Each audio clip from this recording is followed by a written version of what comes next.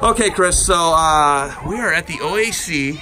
Did you know that this is the only true state championship for, for youth football in the state of Ohio? Did you know that? I did not know that. Yeah. No. So Jared and I, uh, we've been working together for, we were college teammates and we were we competed against each other in high school. Great guy, but OAC does a fabulous job.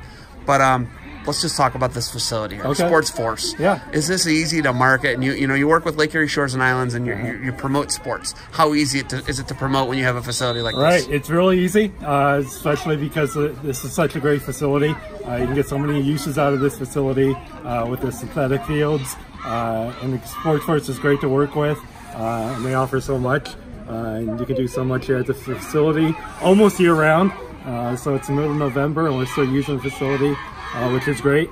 Um, and there's really not, not too much like this uh, across the country, and especially in the Midwest.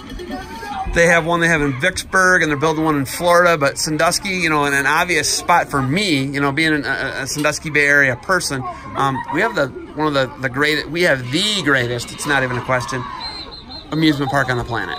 If you've been to some of the other ones, I've been to some in California, I've been to one in Illinois, I've been to, to Texas, I've been all over.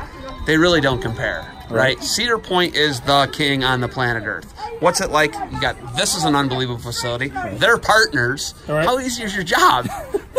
it's it's been getting easier and easier uh, just because uh, we're marketing this as not only a, a family fun destination but a sports destination as well. Uh, so we're combining that together.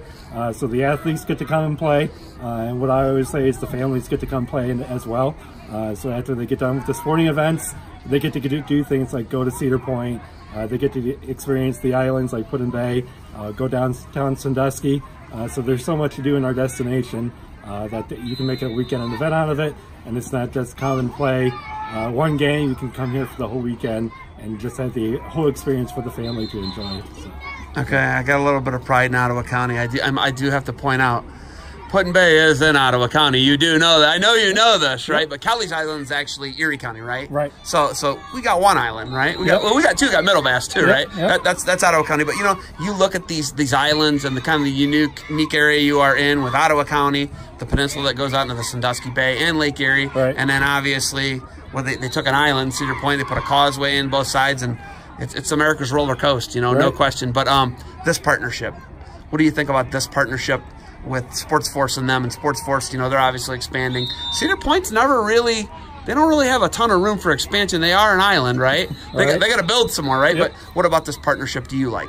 um, what I love is we're all working together. We're all on the same page uh, with bringing in uh, sport tournaments to bring in uh, families and, and teams coming from all over the, the state, but also all of, from the country. Uh, so local teams get to use this facility um, and just really making this a destination. So it's a fun partnership uh, because we're on the same page and we're on the same team.